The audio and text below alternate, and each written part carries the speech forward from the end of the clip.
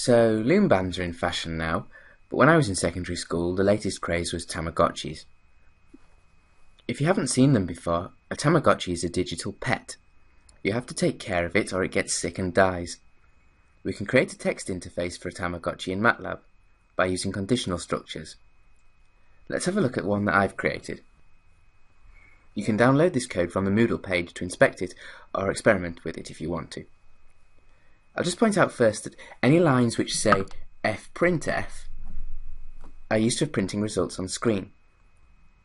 The fprintf function allows for a little bit more control over the way results are printed on screen than the disp function that we've seen so far. I've defined five variables here. We're going to monitor the pet's happiness, fullness, healthiness, and the amount of snacks that it's eaten. The maximum age that the pet can live to is determined on this line of the code as a random integer in the range from 10 to 50. We've got a massive while loop here.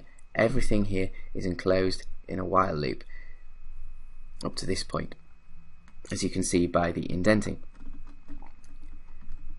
So everything inside the loop will get repeated for however many cycles we've chosen that the pet will live for.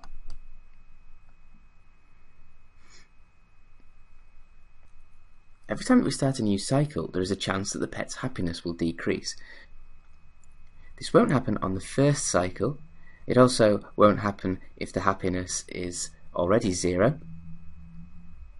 And for the remaining cases, the probability of a decrease in happiness is 50%. This part here produces either a 0 or a 1 with 50% probability. So all three of these conditions need to be true for the happiness to decrease. Pet can also lose fullness on each turn through a similar mechanism. This part here determines whether the pet gets sick. The pet can't get sick on the first five cycles. So the first thing we do is check to see if more than five cycles have been iterated. If they have, then the probability of the pet getting sick is related to its fullness and its happiness. Happy pets and full pets are less likely to get sick. The variable healthy records whether the pet is healthy or sick, and it takes values 0 or 1, with 0 meaning not healthy and 1 meaning healthy. The probabilities of each of these two results are determined by psic here.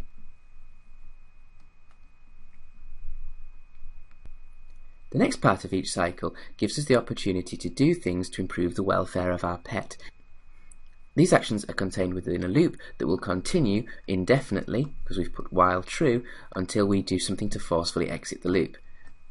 This part of the loop is all of this.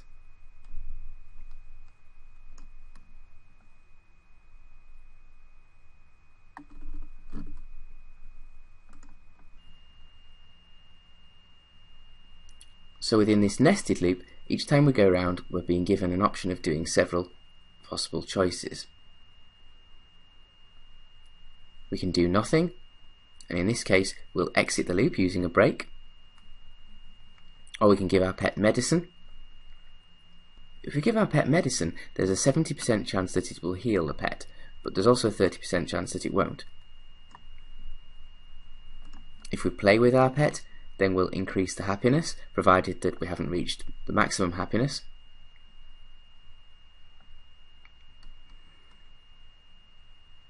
If we feed our pet, then we'll increase its fullness, provided that we haven't reached the maximum fullness.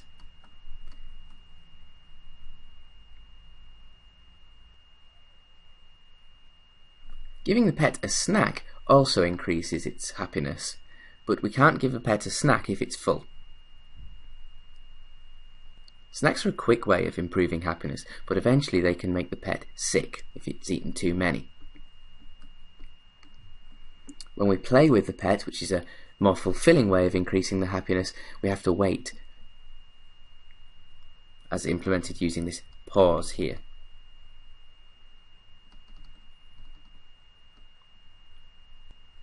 If the pet is not healthy at the end of any one cycle, then it will die. So if a pet gets sick at the start of a cycle, then we have to give it medicine, and we have to keep giving it medicine until it becomes healthy. Let's test this out.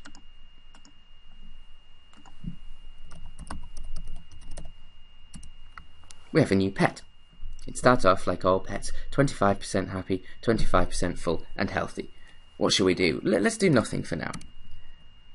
We can keep doing nothing for the first three or four years without actually running into any difficulties. The pet becomes unhappy and becomes very hungry, but it's not going to die just yet.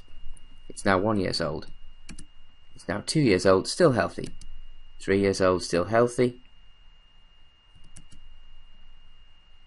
Four years old, still healthy.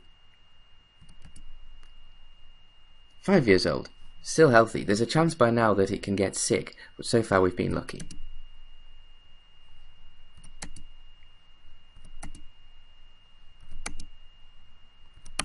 Wow, our pet's doing really well. We haven't fed it. Oh, it's now got sick. 11 years old. We haven't fed it, played with it, and it's only just got sick. At this point, we need to give the pet medicine. Ah, it worked. It's now healthy. Let's play with the pet. We have to wait.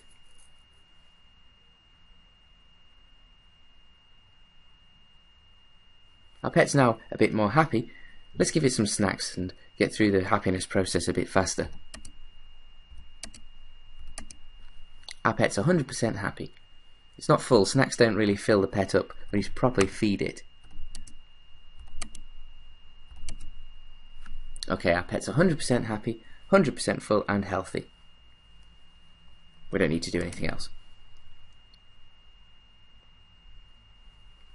I'm going to give the pet another snack.